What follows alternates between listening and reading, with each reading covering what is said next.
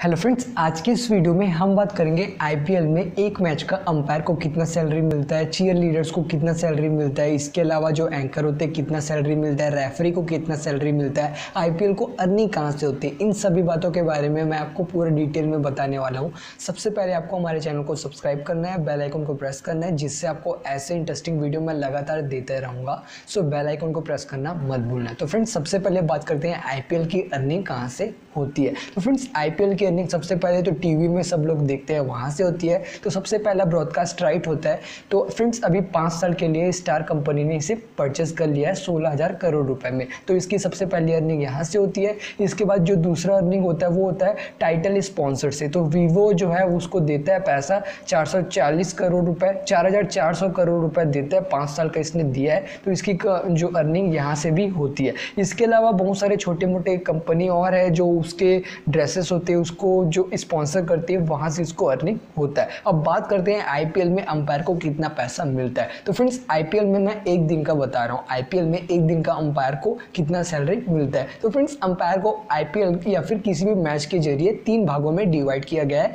A B C जैसे कि अपन लोग first year second year final year जाते हैं, वैसे इनका भी जो है सिलेक्शन होता है। तो सबसे पहला जो है, सबसे बड़ा भरोसेमेंट कैटेगरी होता है। इसकी जो प्राइस होती है, एक दिन की बात कर रहा हूँ। इसकी एक दिन की प्राइस होती है दो लाख पचास हज़ार रुपये से लेके तीन लाख रुपए तक इसकी सैलरी होती है। इसके बाद जो बी कैटेगरी है, उसकी सैलरी जो होती है one point five lakh rupees से लेके दो लाख रुपए तक इसकी सैलरी होती है। इसके बाद जो तीसरी कैटेगरी है, वो होती है, वो रणजी ट्रॉफी में काम करते हैं। ये आईपीएल में बहुत कम दिखाई देते हैं, लेकिन इसका सिलेक्शन अगर आईपीएल में हो जाता है तो उसको सैलरी मिलती है। फ़िलहाल इसकी जो प्राइस होती है one point seven one point seven five lakh rupees से लेके ये इसका जो सैलरी होती है वो दो लाख रुपए तक हो सकती है। क्योंकि अभी ये इसका जो प्राइस है वो बढ़ते जा रहा है। तो ये सबसे पहले मैंने आपको बता दिया अंपायर की कितनी सैलरी होती है। अब बात करते हैं एंकर की कितनी सैलरी होती है। तो फ्रेंड्स, आईपीएल में एंकर की जो सैलरी होती है, पचास हज़ार रुपये से लेकर सत्तर हज़ार रुपये तक की इसकी एंकर की सैलरी होती है। एंकर को रहना, खाना, पीना और ट्रैवल करना, ये सब फ्री में मिलता है। इसके अलावा पचास से साठ हज़ार रुपये भी मिलते हैं। इसके अलावा मैं बात करूँ चीएल लीडर्स के बारे में।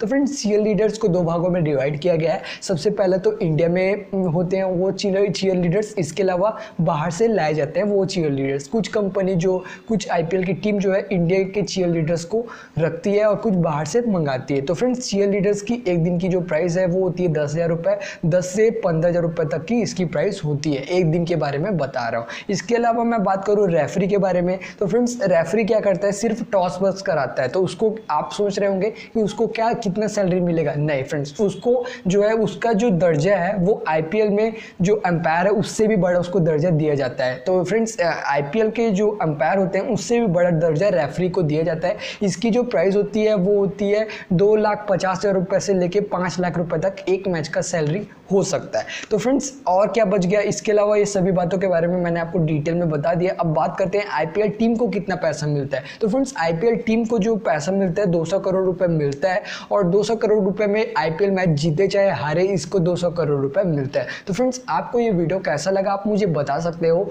I hope you like this video thank you